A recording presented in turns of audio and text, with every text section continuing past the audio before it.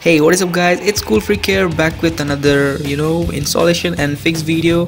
Today i'm going to install you know watch dogs 2 from black box repack. So let's get started.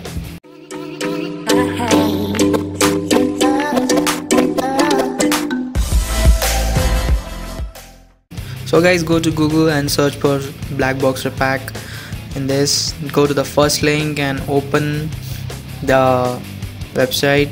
So guys inside that you can see the system requirement. Over here then if you scroll down you can see the screenshots. And in down to that you can find the three links in which you can download the game. I will tell you guys to go to OpenLOAD okay? And then uh, under that you can find the password which is www you know blackboxrepack.com the link itself. So guys after downloading all the 20 files just go and extract it you know. Then after extracting you will be getting you know many things. So after extracting just hit the exe so after that the game will be installed you know. So after finishing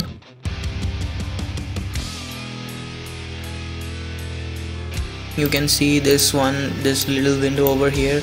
Then inside that uh, you can see all the things in which you can go to the bin file. You can find the watchdog 2 exe so before that if you hit this the game will not work. So if you want you have to go back and open the support one. In this you can find the cracked file in that bin file so these are the three important files which you need to copy and paste inside the so go back into the bin file and paste those three files. In that uh, you will be getting you know this one the watchdog 2 logo. So after that right click on this and go to property. So in that property um, like if you are running any kind of Windows 7 so just uh, run this program as an administrator okay then apply then okay. After that uh, go to two years then send the shortcut to the desktop. So after that right click over here and go to properties.